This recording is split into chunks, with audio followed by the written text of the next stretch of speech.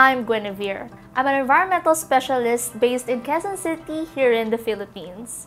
I'm working with C40 to create more sustainable cities. Let's get straight to the point. Do you know what is the primary source of energy in this world? It's fossil fuel, which means the use of coal, petrol, and gas.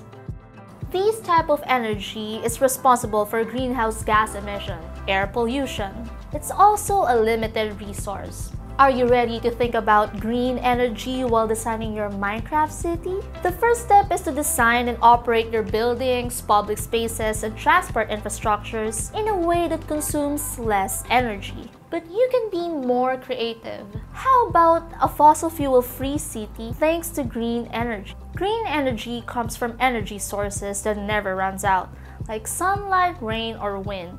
And for this reason, we also call it renewable energy. So green energy doesn't contribute to global warming. Can you develop infrastructures that capitalize on these reliable sources of energy when designing your city?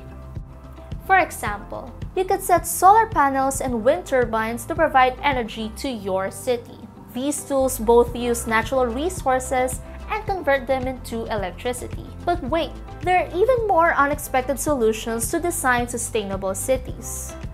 The more you add renewable energy sources to your city, the better energy will be distributed across your buildings. Bear in mind that your design should also take advantage of the different seasons' weather patterns. For example, in winter, you may have more rain to generate water power or wind to create electricity, whilst in the summer, you may have more sun to have hot water at any time.